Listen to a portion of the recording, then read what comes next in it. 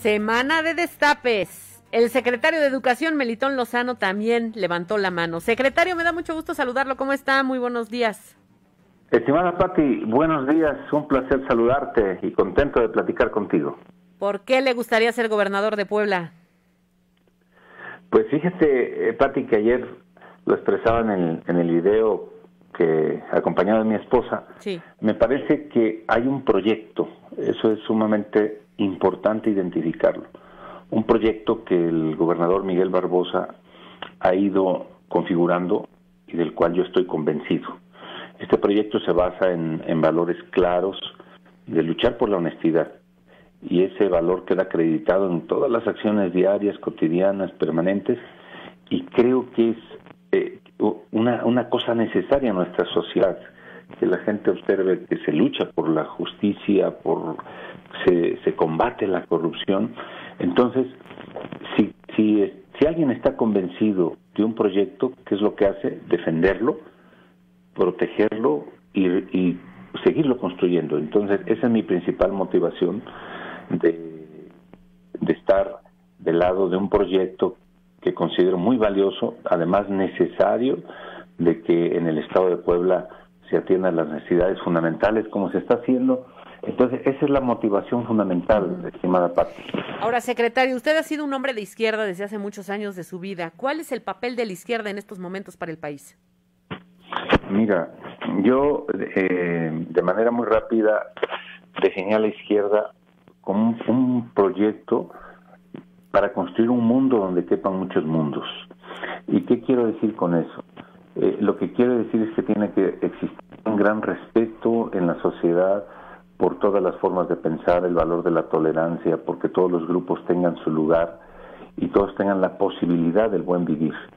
Eh, hay dos rasgos que caracterizan a la izquierda en México y en América Latina, o la deben caracterizar, y sobre todo por la historia que tenemos, una historia de, de muchos años de agravios históricos, por lo tanto tiene que haber una lucha decidida contra la pobreza o el empobrecimiento, yo diría, de un sistema económico social que se ha venido construyendo por más de 30 años y que ha tenido secuelas fuertes y que hoy vemos a muchas poblaciones en extrema pobreza o pobreza. Uh -huh. Y por solidaridad, por ética, creo que tendríamos que luchar para que como humanidad estemos bien. Esa es la primera característica. Y luego la desigualdad.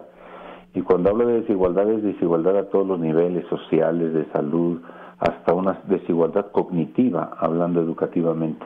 Entonces, esos dos rasgos son los que tienen que caracterizar a la izquierda, pero una izquierda, diríamos, progresista, una izquierda que esté mirando al pasado, pero también vea al futuro. Uh -huh. Tenemos un futuro y unos desafíos tremendos, como es el cambio climático, que hay que luchar a diario, que hay que, y sobre todo de manera, yo diría, eh, organizada, involucrada, que, que, la sociedad sea el factor y el motor de transformación eh, junto con un gobierno. Creo que eso se está construyendo, se va avanzando y es en lo que creo que hay que seguir insistiendo para que mejoremos como sociedad. Claro.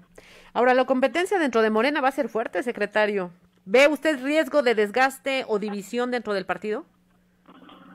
Mira, yo creo que es, es algo probable y que es un ingrediente natural dentro de la política, pero también veo con gran, eh, diríamos, optimismo que esta es una nueva forma de hacer política. Uh -huh. Indudablemente la inaugura el gobernador Miguel Barbosa. Eh, esta nueva forma de hacer política es más transparente, es más nítida, no está eh, siendo objeto de, de cosas ocultas o, o, así guardadas, no, se habla con transparencia, entonces creo que eso tiene pro y contras. Por un lado, uno al expresar su interés, pues queda más al escrutinio público, pero me parece que todos los servidores públicos tendríamos que estar siempre en el escrutinio público y nosotros explicando la razón de por qué se hace esto, por qué no se puede hacer esto, por qué se deja de hacer tal cosa, o qué si se puede, cómo se puede, hasta dónde se puede. Eso creo que puede darle mucha salud y mucha, diríamos, este, pues un nuevo aire, una oxigenación a la forma de hacer política y de transitar un proceso de aquí al 2024. ¿A favor del método de la encuesta?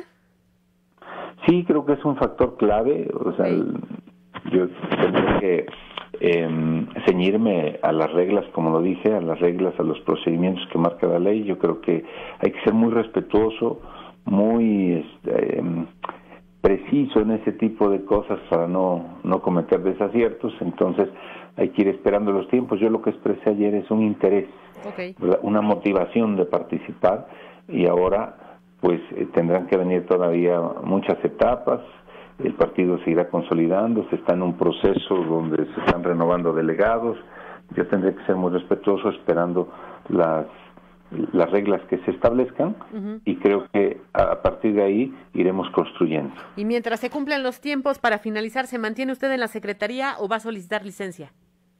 No, me mantengo en la Secretaría hasta que estas leyes establezcan que tengo que pedir licencia y lo haré con mucho gusto, pero de momento este paso solo era anunciar el interés de participar y continuaremos sirviendo desde la Secretaría y, este, y siempre atentos pues a que eh, diríamos no hay ningún cambio en este momento.